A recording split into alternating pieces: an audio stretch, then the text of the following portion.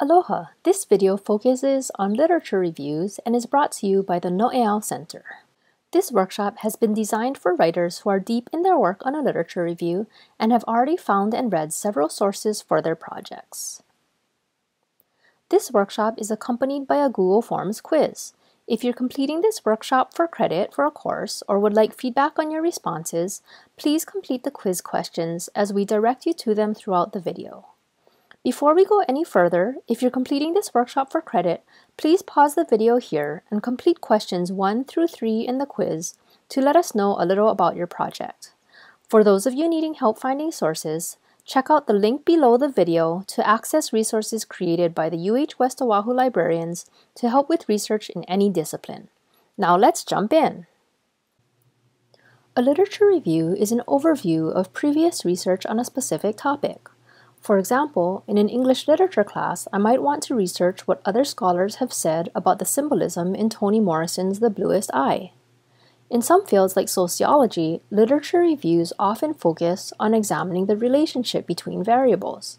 In that case, my research might focus on what previous scholars have said about the effect of employment on college students' academic performance, for example. In all fields, literature reviews synthesize information by evaluating, classifying, and comparing different sources. There are several purposes for writing a literature review.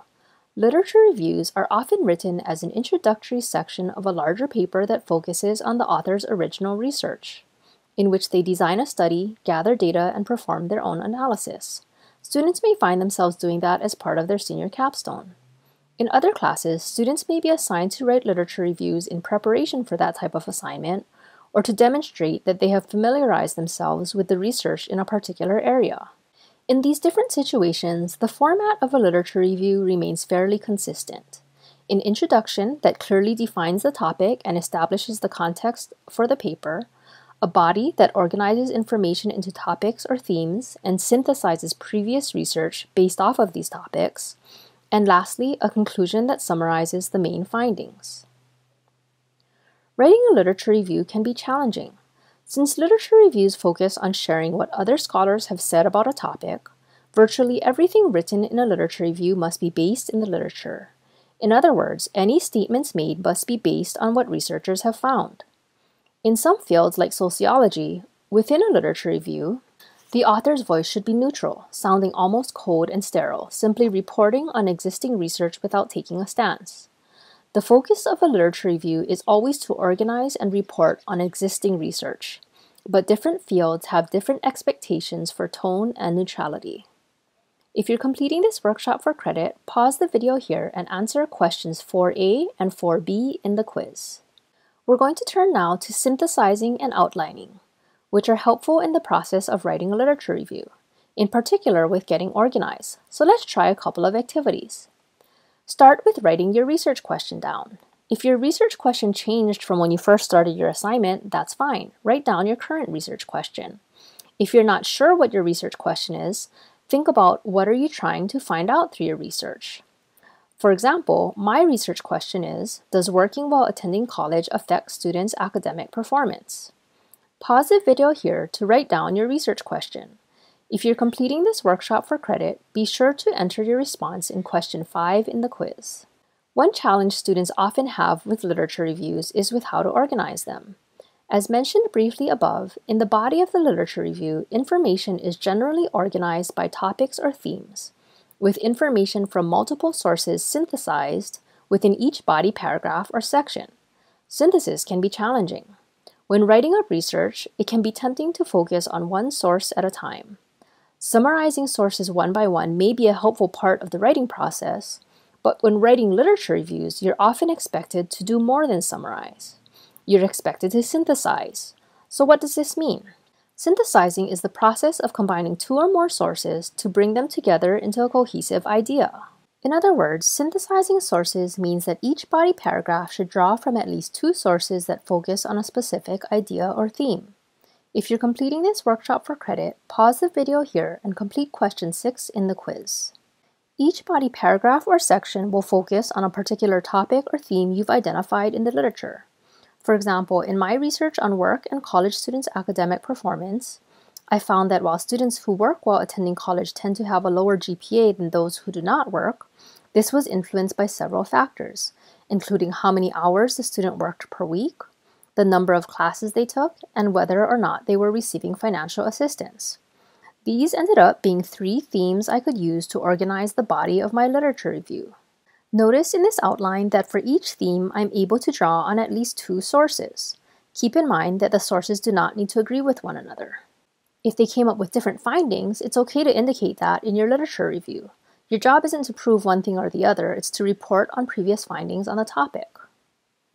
Now it's your turn. In your research, what themes have you found that could be used to organize your literature review? In listing these themes, also identify which of your sources discuss these themes. If you're completing this workshop for credit or would like feedback on your response, enter your answer in question 7 in the quiz. So this is the beginning of an outline that can be used as you draft. In my example, I know that I'll have one section on how many hours students worked per week or full-time versus part-time work. Within this section, I'll draw on two sources that talk about how students who worked more hours had lower GPAs. This section of my paper might start something like this. One factor that affects working students' GPA is the number of hours they work per week. Lee 2015 found that students who worked 15 hours or less per week actually had higher GPA than students who did not work at all. However, Kealoha found that students who worked more than 20 hours per week had lower GPAs. Now you try. If you're completing this workshop for credit or would like feedback on your answers, enter your responses in questions 8 and 9 in the quiz. So looking at this, I can also see that I have only two sources for this section while other sections have three sources, so I may want to see if I can find more sources for this section. If not, I could either leave this section as is or look for ways to combine it with another section. If I had a section with only one source, I might similarly decide to combine it with another section or cut it completely. You can also take your outline a step further by breaking each theme into subsections. In this example, not only can I compare part-time working students with full-time working students, but I can also look at the differences by gender, socioeconomic status, whether they're parents or not.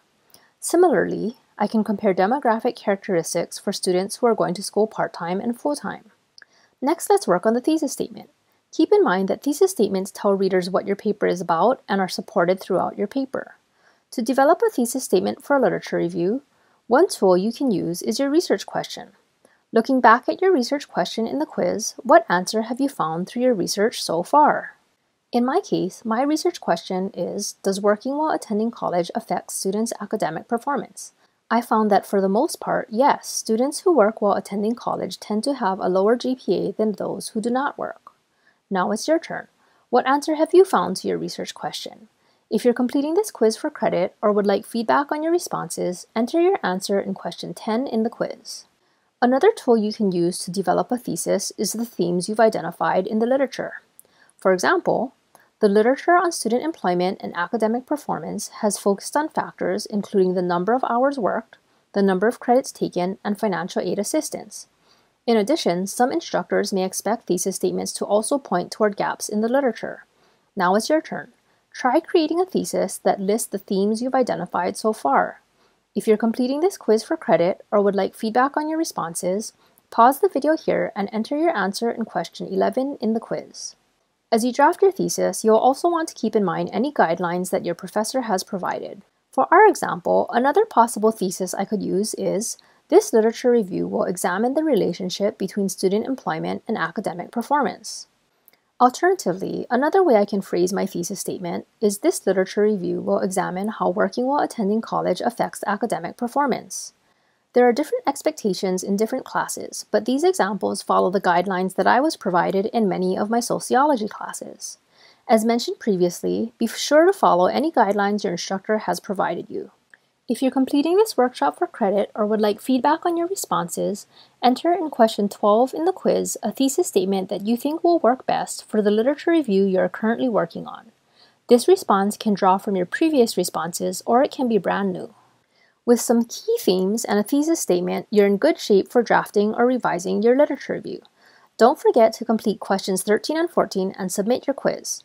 If you have any questions or concerns, please reach out to your instructor or the No'eau Center at 808-689-2750 or uhwowc at hawaii.edu.